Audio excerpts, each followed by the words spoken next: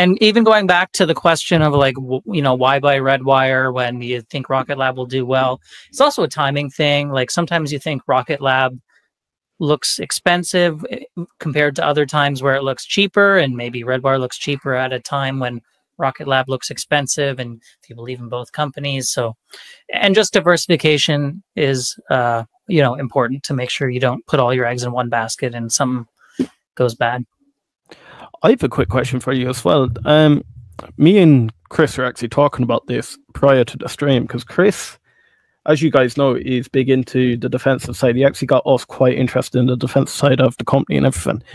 But my biggest regret over the last while has been not getting into Palantir. I remember me and my other hustle brother Reese talking about uh, Palantir back. It was around seven dollars at the time. We are always bouncing around. If it falls back, and it never did. It surge forward and look away she went. Never got in. Do you ever get into Palantir?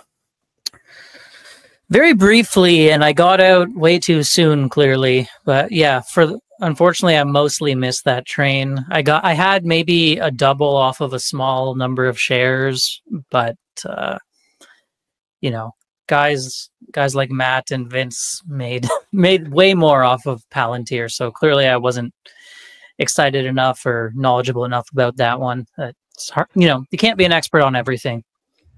Are you still in Nvidia? I remember you buying Nvidia at the time, and at the time it was like the all-time high, and this was like pre-split. you still in Nvidia? Uh, yeah, yeah, I still have Nvidia shares.